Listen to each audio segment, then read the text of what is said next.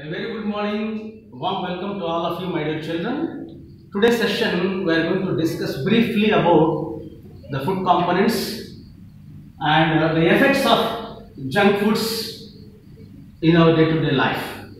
Let us see the different keywords in this lesson before going to that. They are junk food definition, obesity, cholesterol. These things we are going to discuss today's session. So in the previous class, we have discussed about some of the live demonstrations to find the food components such as carbohydrates, fats presented in the food items and uh, proteins. Very important proteins. They are already we discussed previously. Clearly, they are the building blocks of the body. Without that, our body cannot be built properly. So the dietary food must contain proteins. How to test the proteins that we discussed in the previous classes? So take a 2% of copper sulfate solution and 10% of sodium hydroxide solution. Both of them mix it together and drop wise one by one in the test tube which is containing the protein. Protein already the some of the any kind of food item that you prepared in the kitchen by your mother has to take a little bit and drop wise uh, put into the uh, tube and pour some water and shake well. You will get the food item ready to test the protein. Now the preparation already previously 2% of copper sulfate 10% of sodium hydroxide solution. Add it uh, immediately it turns to purple or violet color indicated the food which is selected protein so these sessions are completed previously. I think most of the children are very happy to express and they are able to tell different varieties of answers that we can uh, short answers are in the form of a summative or descriptive, any varieties we can able to answer well. Now today's session we are going to discuss uh, about the effects of junk foods. Effects of junk foods. This is the common problem nowadays because uh, during vacation like Saturday, Sunday, most of the family along with their children they visit to uh, movies or they are visited to very big shopping malls. Uh, by the time we are purchasing different kinds of food varieties. Okay, in the form of bakery items sometimes. These are actually what causes that we are going to discuss. What are their effects and how do we overcome all these problems in the day-to-day -day life or are going to discuss in detail. Let us see what is meant by junk food. Junk food is nothing but pre-prepared pocket food material. Pre-prepared pocket food material such as even uh, let us take some of the examples Kurkure packets uh, or uh, potato chips sometimes bakery items such as pizza, burgers. These are all are not good to take much more quantity. Of course, for the time being, children are very much attractive by seeing it and they are going to be taken. But it causes many defects and causes many diseases to the body. Let me discuss today what are the defects and how we overcome and what should we uh, do to prevent this that we are going to discuss now. So, by taking this, sometimes you cannot, you cannot uh, recognize uh, sufficiency. Sometimes we have to take in more quantity. It can be due to that it presented of the uh, causing the obesity. Obesity is nothing but overweight.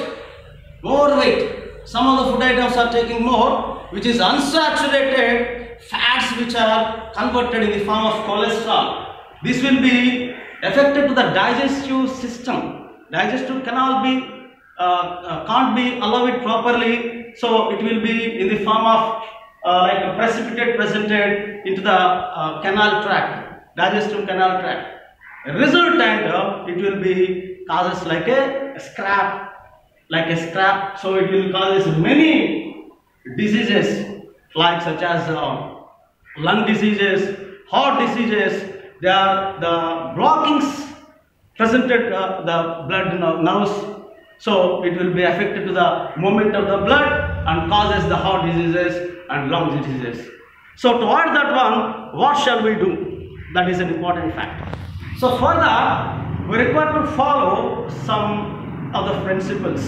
I would like to mention to avoid this the 10 principles that you prepared for you children. All of you keep on watching and please all of you go down in your uh, notebook and try to implement in your life to avoid this problem like obesity, cholesterol, all these things. Number one, what to do? Maintain balancing diet. Maintain balancing diet. Already we have discussed in the previous session what is meant by balanced diet containing all these food components in a proper ratio in the form of smooth functioning of the digestion is nothing but balanced diet. Second one, follow good habits.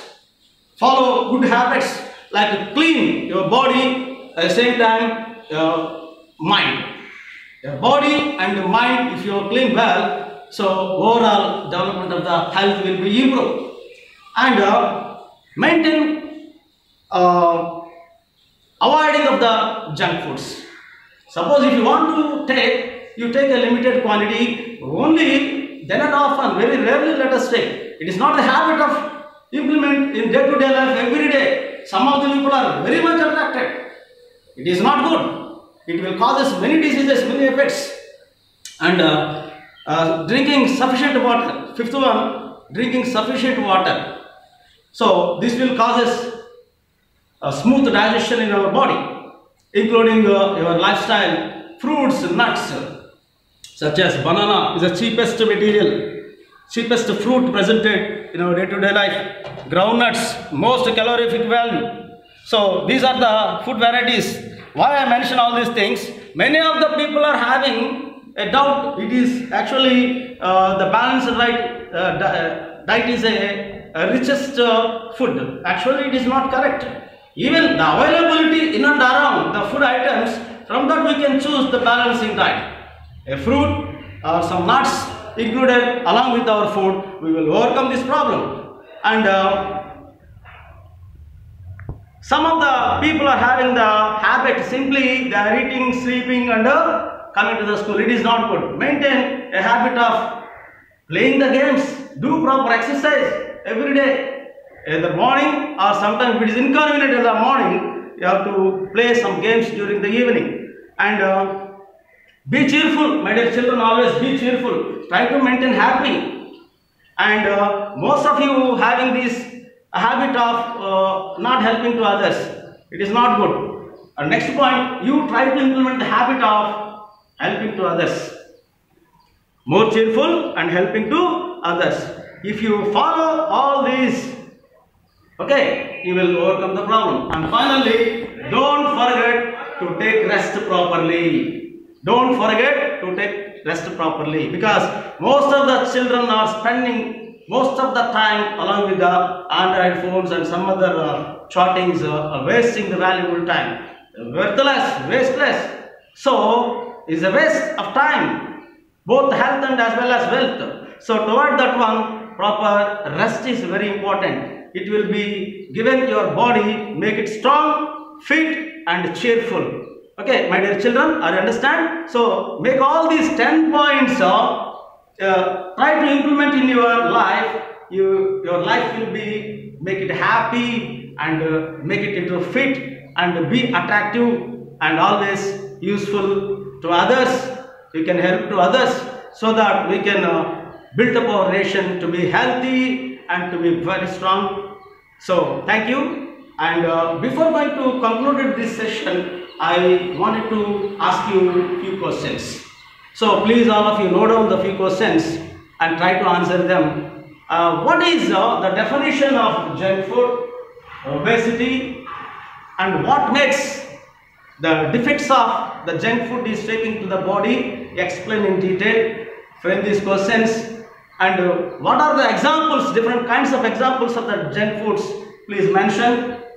Okay, like that, after understanding the subject, after reading the textbook properly, you can have an ample of uh, time to think in and around, observe it, and try to make it uh, answers with your own sentences. Understand, children? So, in this way, happily, if you learn, I, you can uh, uh, able to spend the holidays happily, and we can improve well the subject also. Okay. Thank you, my dear children. Today's session of watching. Keep on watching. Until then, next session, keep on smiling. Have a nice day. Bye bye.